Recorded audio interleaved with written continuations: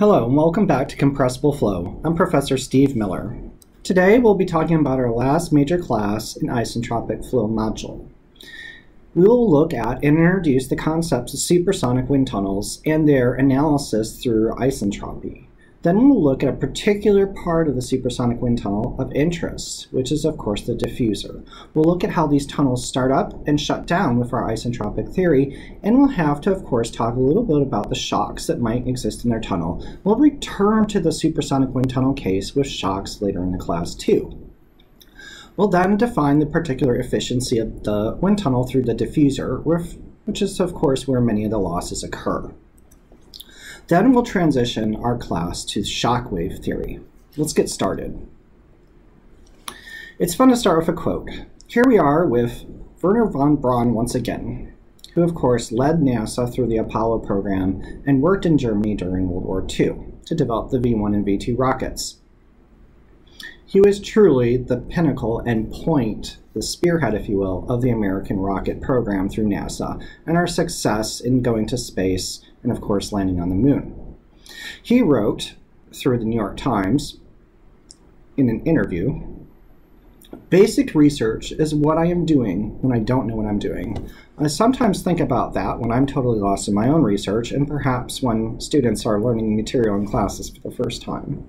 Usually post and show in video in class a particular supersonic wind tunnel demonstration from the University of Twente.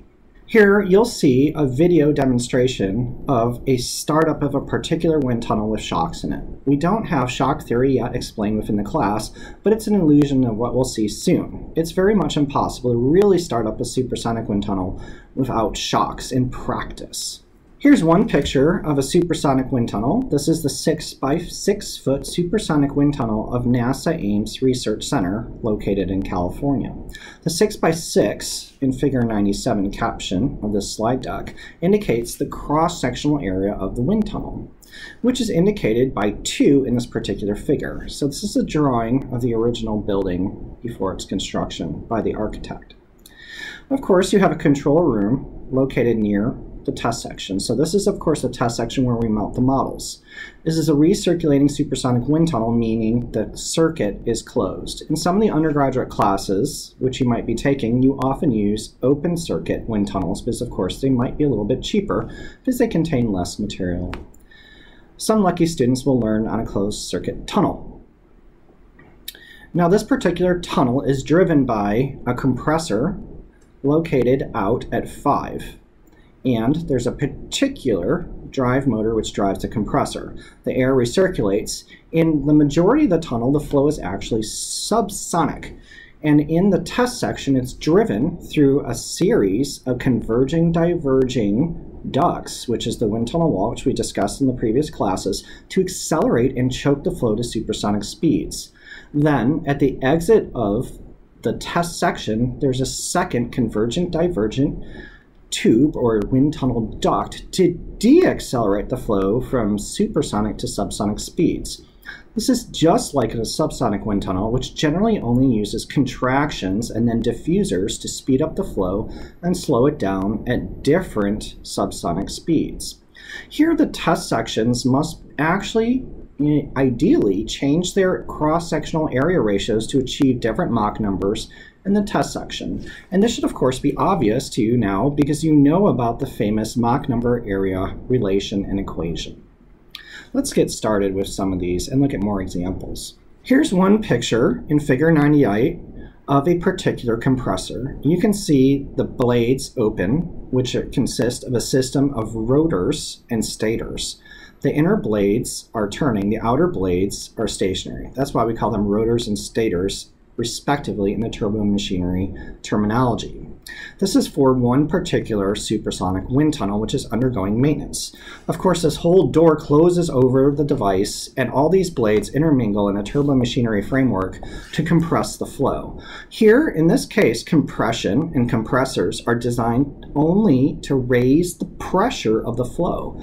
This way, we can, at very low speeds, raise the static or stagnation pressure so that we can maintain it through the circulation in the tunnel as it circulates, as recirculating the tunnel, back to the face of the test section. Here's one particular photo of the interior of the NASA Glenn Research Center 8 by 6 test section. NASA Glenn Research Center is located in Cleveland, Ohio. In fact, I have a picture of myself in this very tunnel, which has been redone in my office. If you come to office hours, you're welcome to stop by and check it out. Here we see a particular model mounted in the tunnel with some technicians, of course, uh, wearing protective suits because they're going to be running some chemistry in this tunnel um, to model the plumes of these rockets. This is really a supersonic type tunnel, which also can operate in the transonic regime.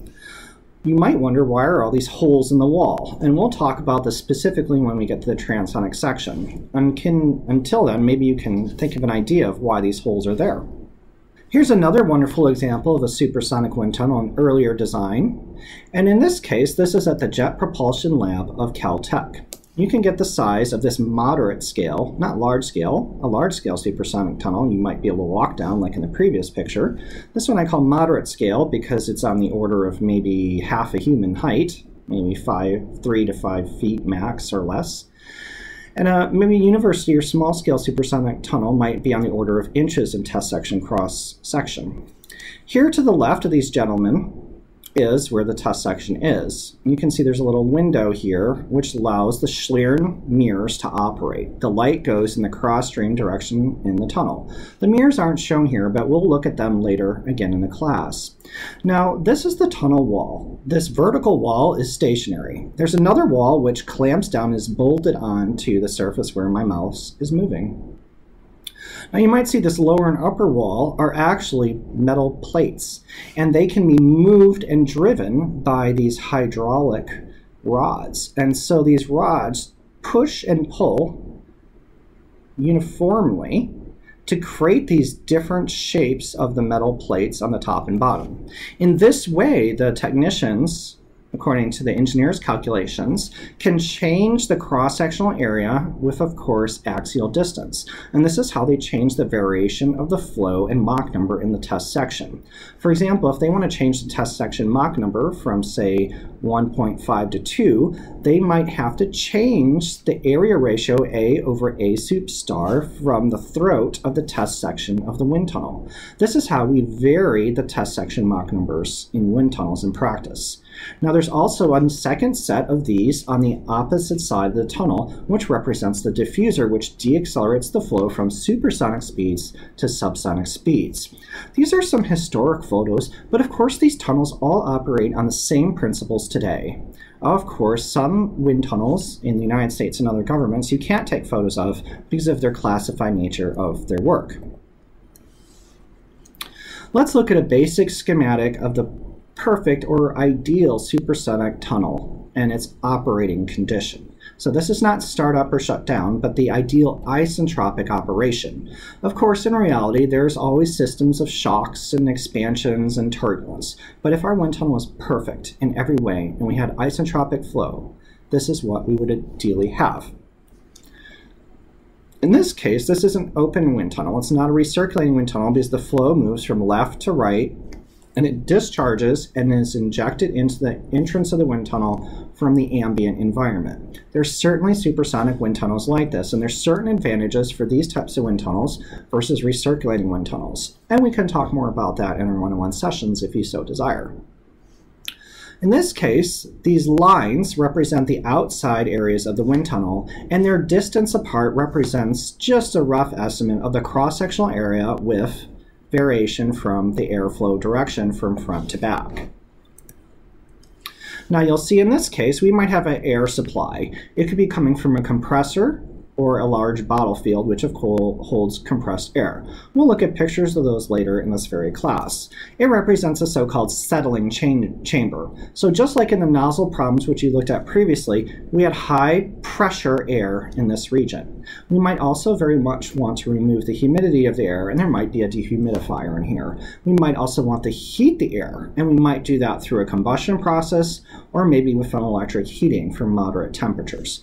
Nonetheless, just like in the nozzle plenum, or problem, which you looked at previously, it's all very, very low speed moving air. So we say the Mach number, which you remember is the ratio of the velocity divided by the local speed of sound, will be very, very close to zero. It'll be much less than one.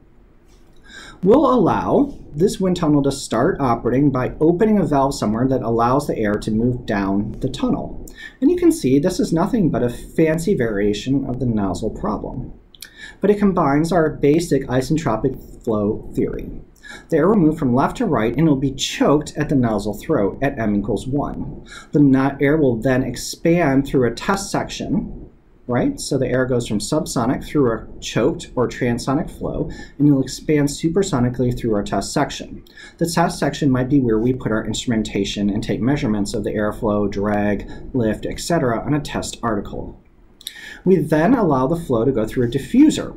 It is inefficient to let our flow exhaust to the atmosphere supersonically. There's no real reason why we can't just cut off the rest of the device, but it's much much easier to have a recirculating tunnel in terms of power savings, which we'll talk about in this class and future classes with wind tunnels. The idea here is we got to take the supersonic flow and deaccelerate it to the lowest speed possible while raising our thermodynamic properties as much as possible. For this reason, we put a diffuser at the end of a wind tunnel. It's the same concept that you learned in your previous classes with respect to diffusers for recirculating wind tunnels, and of course in your laboratory classes. Here the diffuser shows that we would want to once again have its supersonic flow and to slow it down you need to decrease the area.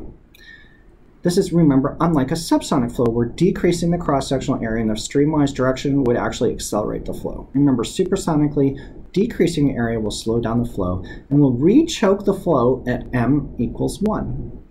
Once this happens, of course, the duct will start diverging again because we're transonic again and will deaccelerate the flow to lower speeds.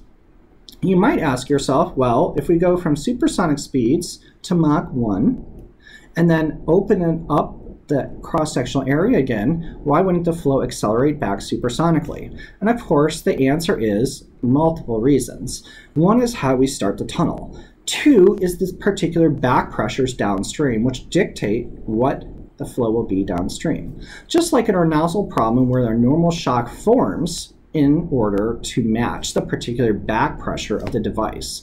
If this opens up to the atmosphere, the back pressure of this particular supersonic tunnel will be, of course, P sub infinity, the static pressure measured in the atmosphere by a particular barometer.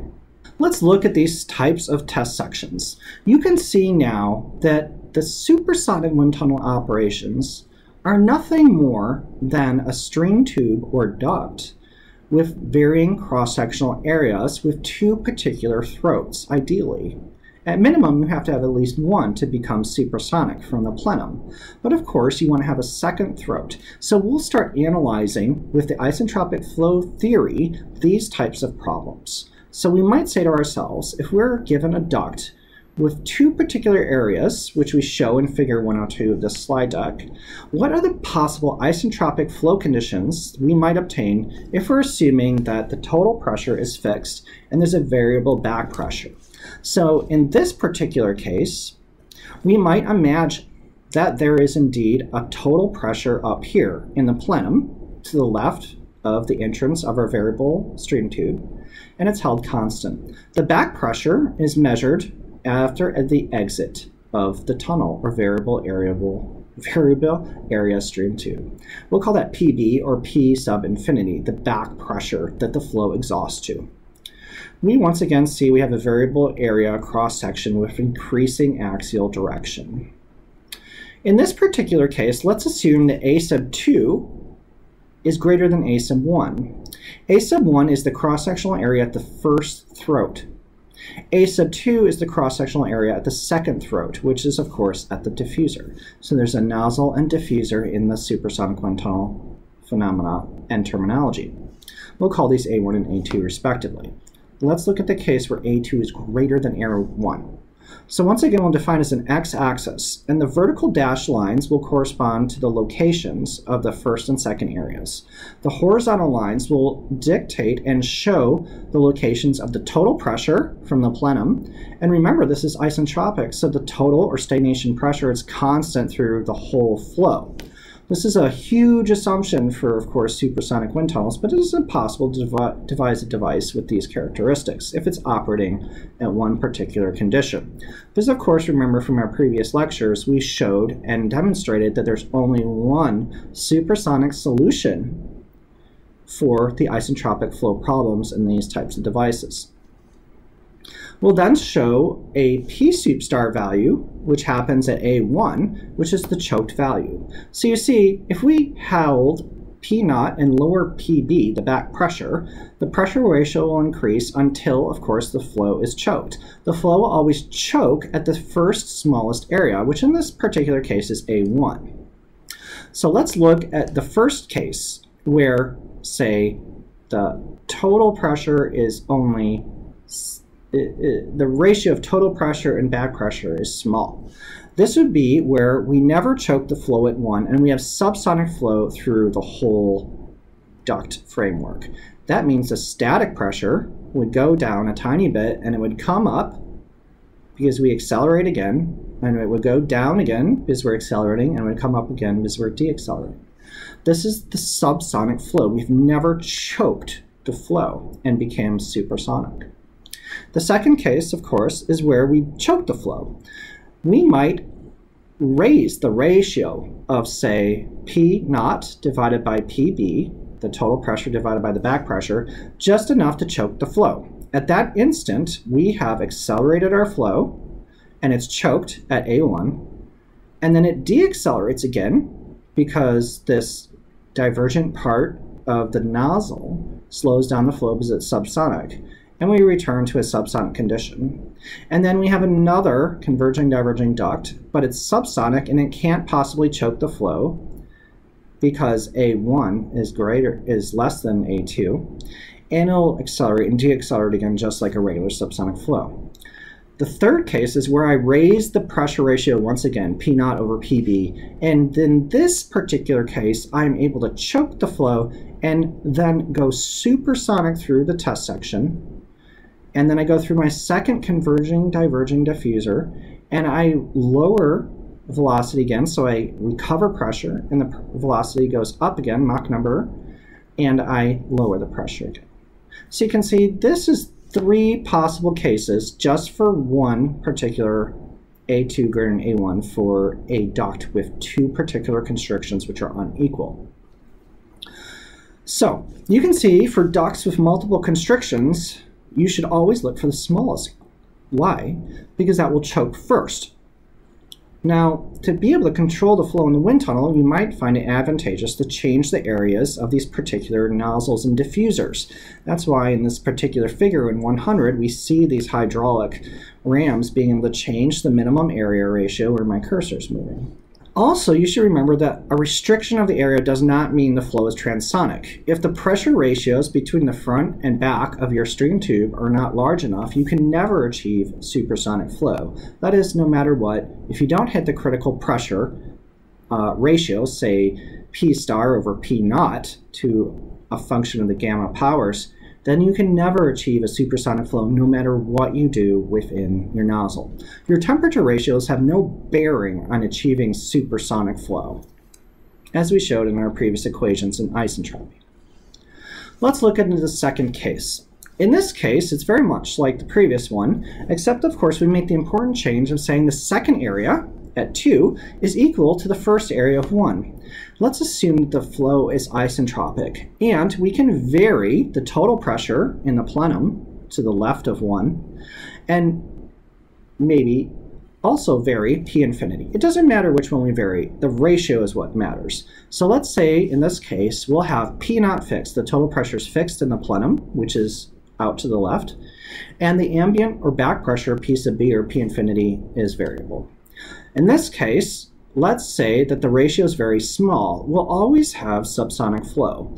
But as soon as we hit the critical condition, that is the critical pressure ratio, it's 1.89 for gamma 1.4, you can check yourself, you'll find that we do indeed, once again, choke the flow at A1 and choke the flow again at A2. We choke the flow at both locations because, of course, they're the same areas. We have the same minimum area. You might imagine if we have isentropic flow and we have four or five cross-sectional minimal areas that are all the same, that we could choke the flow at every location. And between every one, we can, if we wish, control if it's subsonic or supersonic. In this case, there is indeed four possible solutions. Let's look at them. In each case, they start and go through and choke to the same value. The first solution will, of course, take the flow from Mach 0 to the transonic condition, and it will become subsonic through the test section, and it'll reaccelerate back to the transonic condition, and it'll become subsonic. The second case is the same. We can go down the same solution and choke the flow, become subsonic, accelerate to the transonic condition, and become supersonic. The third case has supersonic flow through the test section, and the diffuser works wonderfully and deaccelerates the flow back to the back pressure 1 subsonically. And the fourth case takes the flow, it accelerates the transonic condition, becomes supersonic in the test section, it rechokes the flow, and becomes, of course, supersonic once again at the exit of the device, that is the diffuser. So you can see two solutions must be recovered by one particular back pressure, and the other two solutions are recovered by the other particular back pressure. So you see having supersonic flow with choked entrance and exit of the duct section is a non-unique solution. There's two, and they depend on the particular back pressures for isentropic flow. This is unlike the nozzle problem, of course. In the other case, we have two solutions where we have choked flow, where we have subsonic flows, corresponding to m less than 1 in the test section, which is in the middle of the device. So you can see, in summary, if A2 equals A1, A1 chokes and so does A2 in isentropic flows. There's actually, of course, four different pressure curves as we showed for Mach 1 flow somewhere in the flow because, of course, there's two noses. You'll also note that if we never choke the flow, there's an infinite number of subsonic solutions where the pressure and the flow never chokes through the device. There'll be an infinite number of solutions. And so you should never use the A over A sup star Mach number relations with area in these particular problems because if it's a subsonic flow, that is. Let's look at these once again. In this case, I've broken out the two solutions for the subsonic flow and the supersonic tunnel. There's very little point in running a supersonic tunnel like this. There's lots of subsonic tunnels in the world and not as many supersonic tunnels. It's much better and maybe cheaper for you to book and use a subsonic tunnel. And you have more control over it. The supersonic case, of course, is much more interesting. When we, of course, look at these particular problems. Of course, in reality, starting the tunnel to get this condition will contain shocks, which we've kind of alluded to before, and we'll discuss these particular problems later. Let's look at the third case. What if the second area is less than the first area? You will see, of course, as you raise the pressure ratio of P naught over the back pressure ambient pressure, that's a pressure ratio, P naught over PB, you'll see that A sub 2 indeed must choke first. Otherwise, and before choking, you'll always have subsonic flow. So as you raise the pressure ratio, you'll choke the flow, and then you'll have a series of particular supersonic isentropic solutions, if you can achieve them, which is of course rather difficult. You can see that in these cases, the back pressure can end up rather high, as shown in PB1, or rather low in PB2. So once again, there's four particular isentropic solutions.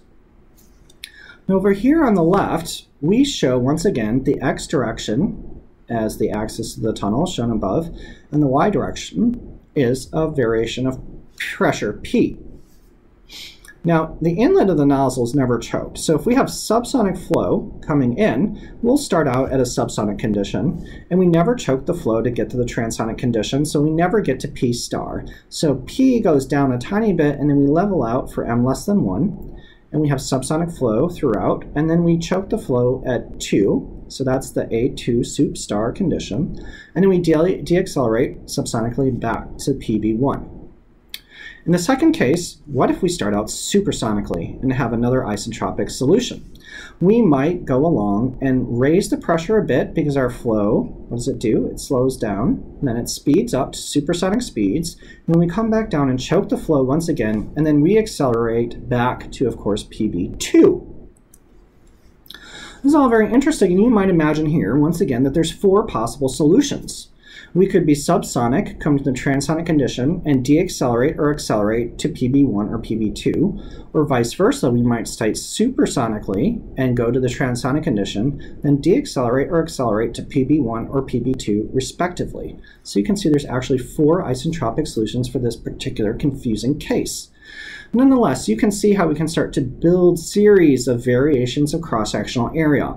And these types of problems inspired aerodynamicists from the 1920s through the 1950s and 60s to think of exterior, exterior aerodynamics problems as a series of infinite variational area stream tubes where fluid parcels are bounded by the stream tubes going over particular aerodynamic bodies. It's a beautiful way to think about the problem and is a very physical approach because of course it corresponds directly to the stream tube theory of isentropy which we developed. Let's now look at, of course, the mass flow rate versus the exit pressure of the particular device. You'll see in this particular case, on the x-axis, I have a variation of pressure. On the y-axis, I have mass flow rate m dot. The bottom axis represents the exit pressure of these particular devices. PB is the back pressure. P naught is the total pressure. If we're in isentropic flow, remember P naught, the total pressure, is constant through the flow. If PB equals P naught, then of course the value of the ratio of PB over P naught is 1. That is represented at this point. As we lower the back pressure and hold the total pressure constant in an isentropic flow, the flow of course will accelerate through the tunnel. As we lower the back pressure, we will eventually reach some exit pressure, which is P3. That's very interesting. And then as you see, the mass flow rate increases as we lower the back pressure. So as we lower the back pressure, the flow accelerates, and the value of the Mach number will keep going down on the graph, the corresponding Mach number. So the going to the left on this graph represents flow at higher velocities.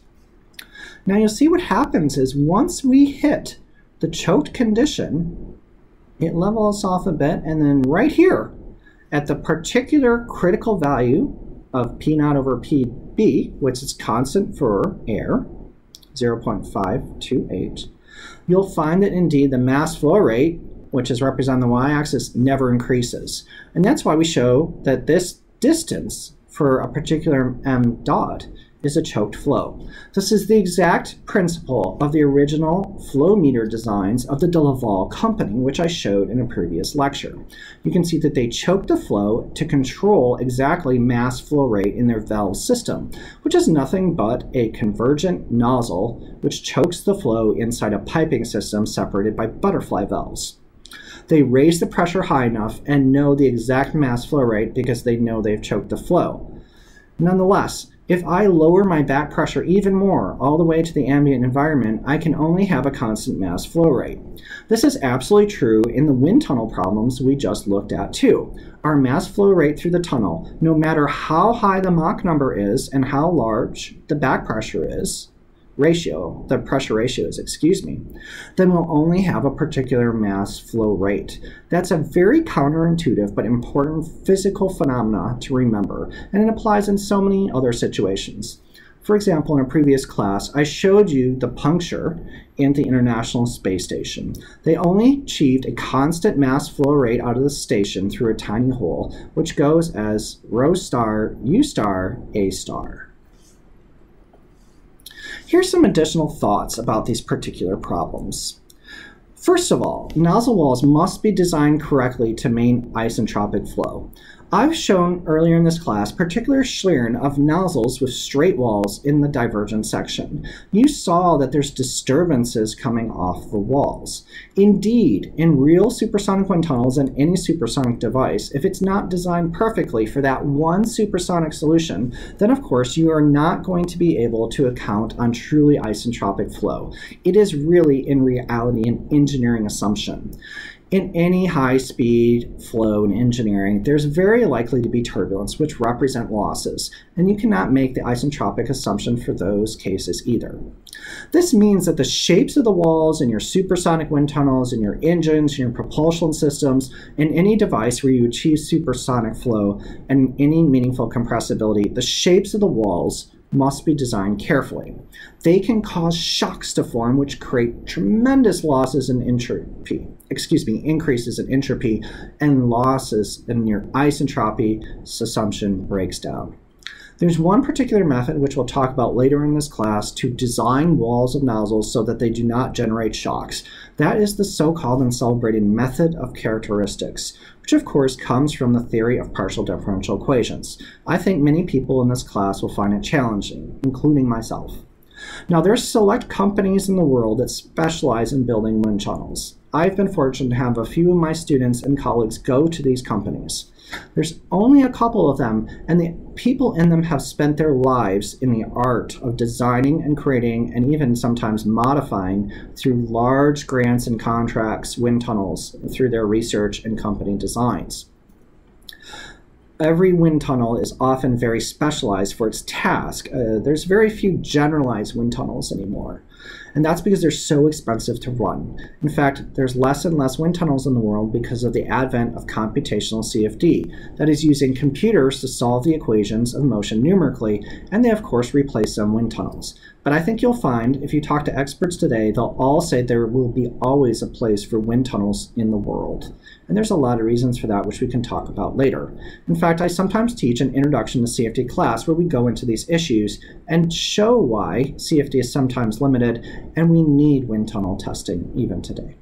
These people in the business of wind tunnel design are often sought after, and they become experts in their field. I suggest going into the field if you feel that you're up to it. Let's now look at a few examples for fun. This one reads, a supersonic wind tunnel has designed a Mach 2.5 flow in the test section.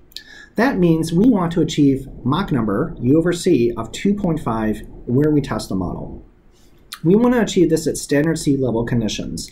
That means the pressure and temperature should be about 101, 325 pascals, and about eh, 273 Kelvin is a good number. We'll use the basic isentropic theory, which we use in this class, and our now knowledge of the physics of wind tunnels, to try and calculate the exit area and conditions necessary to achieve these design goals. We need to find the exit area of the particular tunnel and conditions to achieve these goals. Think about that. So what we can do is we can go to our isentropic tables, which we showed previously, and look up Mach number of 2.5. From Mach number 2.5, you can use the Mach number area relation equations or look up the table row and you'll find that A over A sup star is 2.637. P naught over P is 17.09. In this case, P naught is the stagnation pressure in the tunnel and the plenum, and P we'll write as PE, the exit pressure. We'll find a value of 17.09. Finally, you'll find a stagnation temperature, T naught over the temperature E, as T in the tables, of 2.25. That's a temperature ratio. Remember, T naught is also constant through the isentropic tunnel. Let's assume that we want to have one atmosphere, as stated in the problem, and 288 Kelvin, excuse me, I wanted 273, but the problem wants 288 Kelvin, that's fine, in the tunnel section. Now, I'll use my pressure ratios at Mach 2.5, and I'll use my temperature ratios at Mach 2.5 with the ambient conditions of an atmosphere in 288 Kelvin to find the total pressure and temperature needed within the tunnel.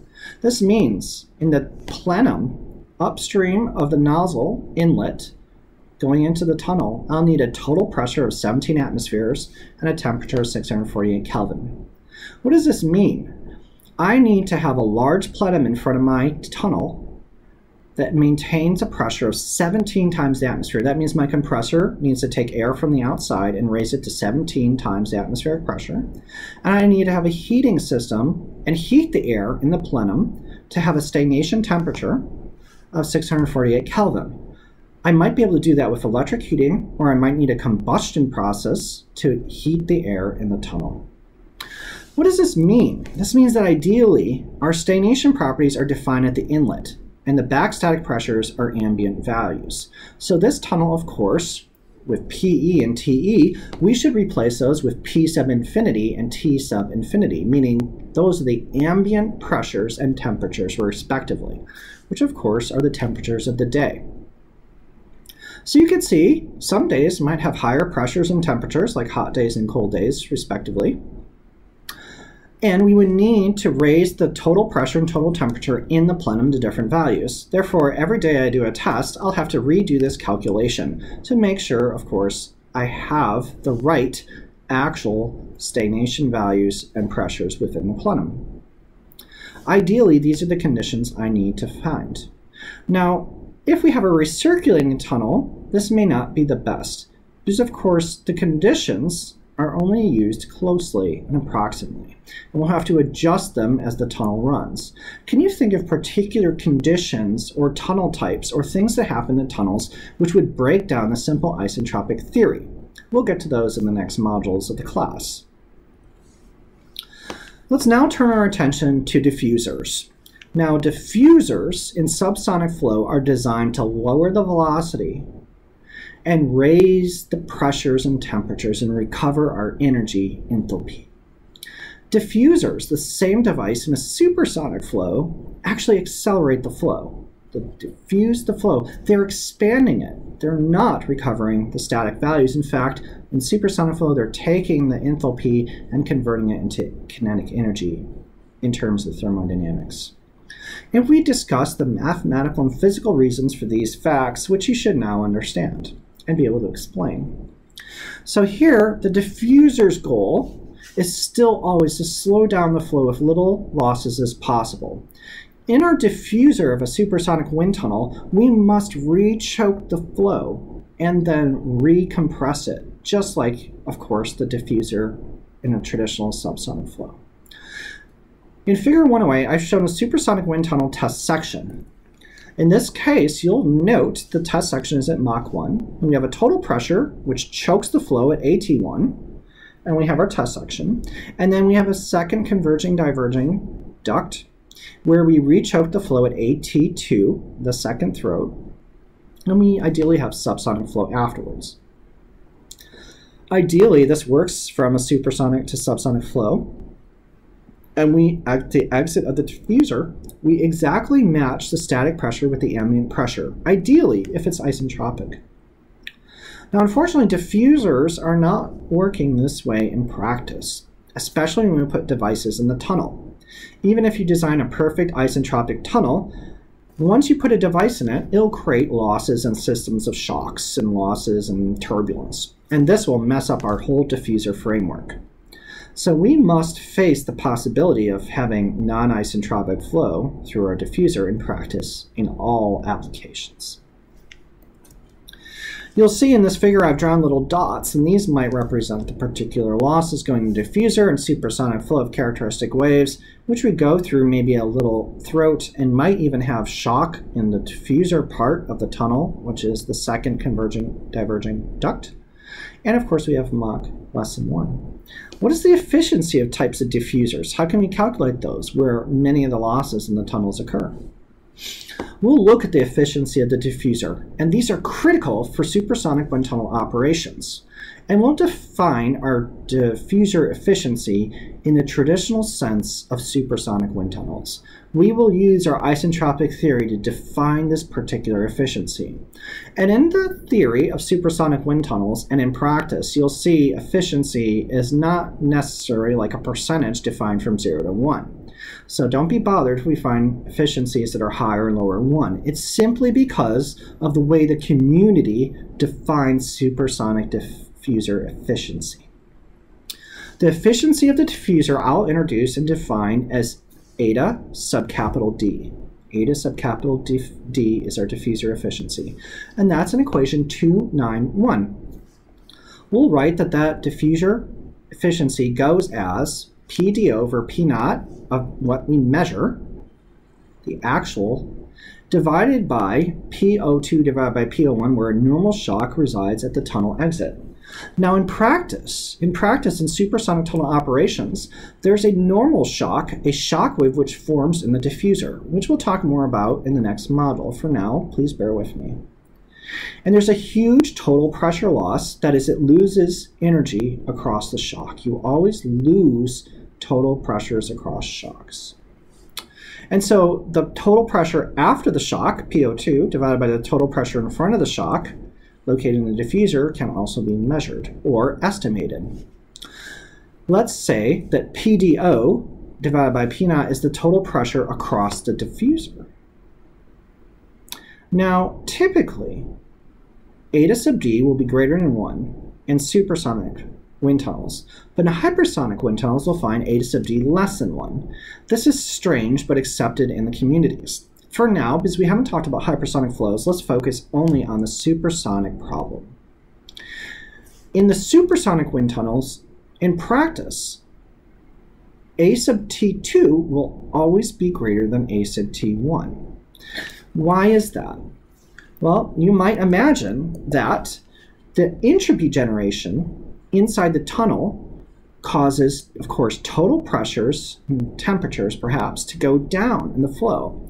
Therefore, those ratios, total pressure has gone down while the back pressure is being maintained. And therefore, you'll need and require a larger A sub T2 to just choke the flow. This is always happening in the diffuser. For example, AT1 here will be less than AT2 here, because of course are losses in the test section. So now we have actually AT1 sup star and AT2 sup star. The primary driver of the entropy in the tunnels are the shocks and boundary layers in the tunnel. Now we intend, in particular, to find the ratio of the throat areas of the supersonic wind tunnel. Let's return to our best friend, the conservation of mass, or the continuity equation in compressible flow, in the semi-one-dimensional form. It was originally written as rho 1 A1 U1 equals rho 2 A2 U2. Here, as we've choked the flow at station 1 and 2, we'll replace those with C1 sup star and C2 sup star. Rho 1 will become rho 1 star, and rho 2 will become rho 2 sup star. AT1 and AT2, of course, are the areas of the first and second throat. We could also write stars, but we already know they are. Let's rearrange this into a ratio of areas of AT2 over AT1 goes as rho 1 sup star C1 sup star over rho 2 sup star C2 sup star. That's curious. Now let's assume that the flow is adiabatic. This means that T sup star is a constant. That means there's no heat transfer in or out of the flow in the wind tunnel. And this is probably fine for steady state operations. And now, using the speed of sound relation, we'll write AT2 over AT1 goes as rho 1 sup star over rho 2 sup star. Why? Because C1 sup star and C2 sup star goes as the square root of gamma R T sup star. T sup star is constant, so C1 sup star and C2 sup star are the same through the tunnel. So 1 over 1, excuse me, C1 sup star over C2 sup star is 1, so we get rid of it. Now we have 8 sub T2 divided by A sub T1, the area of the second throat to the first, goes as the choked density in the first throat divided by the choked density in the second throat. Now we can use our equation of state for perfect gas, P equals rho R T, which is of course P sup star equals rho sup star times R times T sup star. Remember, of course, that R, after substitution for rho, will have rho 1 sup star over rho 2 sup star goes as P1 sup star over RT1 sup star divided by P2 sup star divided by RT sup star. Recall that R is the gas constant, which will be constant crosses out. because we made perfect gas assumption, and T1 and T2 superstar we've already implied are the same. Therefore, rho 1 superstar over rho 2 superstar goes exactly as, in this particular situation, as P1 superstar over P2 superstar. Pretty simple and straightforward. Let's combine the two relations from the previous page, and you'll see, of course, that A2T over A1T, that ratio for the second throat to the first, goes as P1 sup star over P2 sup star. Try it for yourself. You'll now find that for optimal operations, the Mach numbers must be unity at the throats, because of course they're choked. And that will be the good efficiency, of course. So now we can go back and look at our particular equations as P naught over P goes as a function of gamma and Mach number, which are our most important isentropic flow equations which we previously defined. Now we'll write, instead of P naught over P, we'll give it subscripts at the first and second throat in 297 and 298 respectively. For example, at the first throat, we can write P naught 1 over P1 sup star goes as 1 plus gamma minus 1 over 2 m1 squared all to the gamma over gamma minus 1 goes as gamma plus 1 over 2 to the gamma min over gamma minus 1. And the second equation, we can write PO2 divided by P naught, P2 star, excuse me, goes as the same equations. Here, M1 and M2 are both 1. We replace them, and of course, we get these values of gamma, which should be very familiar to you. So now we have relations of PO1 divided by P1 and PO2 divided by P2. P1 sup star and P2 sup star, of course, known right? They're the critical conditions at the first and second throat, respectively. Now, unfortunately, PO1 and PO2 may not be necessarily known, but we can find their ratio with respect to areas. You see in 296, I know P1 superstar star or P2 superstar. We should probably try and find a ratio between 297 and 298. Let's look at that. You can see now that by combining the two relations on the previous slide, we can find an equation for AT2 the area of the second throat divided by AT1, the area of the first throat, will be for wonderful and isentropic relations as PO1 divided by PO2. This is an equation you might remember. Now, P naught the total pressure within the tunnel will decrease with increasing entropy. So PO1 is the stagnation temperature in the plenum where the flow starts in the wind tunnel. PO2 might in fact be the total pressure after the losses in the test section at the second throat. So PO1 is not necessarily equal to PO2. If they are equal, of course, then you see AT1 equals AT2, as I showed in the first example of this class, which is wonderful. So theory matches physical description. I love that. In this case, if S increases, of course, indeed, PO1 and PO2 must not be equal. PO2 is being reduced because of the increase of turbulence and layers and shocks in the tunnel. There's other flow phenomena that might happen in the tunnel. Perhaps you can take a few moments and think about what those might be yourself. Now you'll see that the second throat must be larger than the first in the particular one tunnel, according to equation 299, which we just developed. Because of course PO2 is less than PO1, that means the ratio is positive, greater than 1. This also means, therefore, physically, AT2 must be greater than AT1 in all realistic operations where isentropy, of course, is not conserved. Now you might also imagine a horrible situation where a wind tunnel with a diffuser might have a throat that's smaller than the first. In this case, equation 299 in this slide deck, AT2 over AT1, will never be able to equal to PO1 divided by PO2. This would require, of course, PO2 being larger than PO1, but I have no way of raising the total pressure within the tunnel. Easily, at least. It would be a good trick if I could learn it. Nonetheless, in this case, you'll never have a supersonic test section in these types of supersonic wind tunnels. And that's very unfortunate, but it's a good thing to remember. And since we have variable areas in the wind tunnels, you'll have to think carefully about how to set these areas to achieve the desired supersonic flow that you need. Now, it so happens that the efficiency the efficiency, as you remember, eta sub d, which we just defined a few slides ago, is very strongly sensitive to AT2 in practice. And we can show this through sensitivity analysis, which we'll not show in this class. Here I've graphed a particular diffuser on the right of a converging diverging section diffuser, and it's supersonic to the left. It goes through, and there's a system of waves, shock waves, and it terminates somewhere in the diffuser. And this represents the starting and choking points of the tunnel. Here on the right, left, the typical way to write diffuser efficiencies is to have an x-axis of AT2 and a y-axis of eta sub d. If I graph the efficiency of a typical tunnel, it always goes a curve like this. So you can see somewhere between starting the wind tunnel, that is a low pressure ratio, and the tunnel being choked and supersonic, there's some ratio in there where of course we'll have a maximum efficiency, which is of course where in practice you would want to find and run the tunnel. These efficiency graphs are usually published per tunnel per condition. And there will be a little book of them that shows for different Mach numbers of the tunnel of what conditions you might want to examine. Let's talk about starting the tunnel. And to start the tunnel, we really need to understand the basic theory of shockwaves. And so for now, just imagine that vertical lines represent shockwaves in the tunnel. Initially, the tunnel is in like figure 110. This is my sketch of the basic tunnel. We have a plenum, we have a first nozzle, AT1, that choked the flow and created a supersonic flow in the test section. And we have a second throat, which we would call the diffuser, and it be at Mach 1, and we return to Mach 0. That's what we want. So for small tunnels, usually, as the video you might have seen earlier in the class and which I posted on the website, you'll see a tiny, tiny little valve is indeed released. Then the uh, normal shock. A normal shock forms as soon as we hit the transonic condition at the first throat.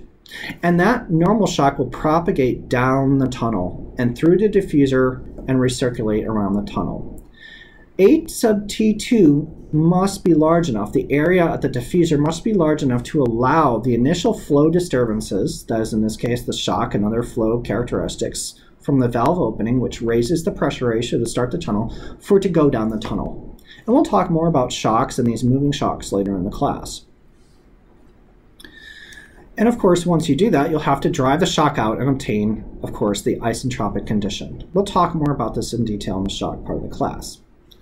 Now, some notes about shock propagations and efficiency of particular diffusers. We'll make just a few observations which I'll note from experiments and many years of wind tunnel research. The first is the flow in the diffusers is often turbulent and very chaotic, and that means it has a large measure of disorder.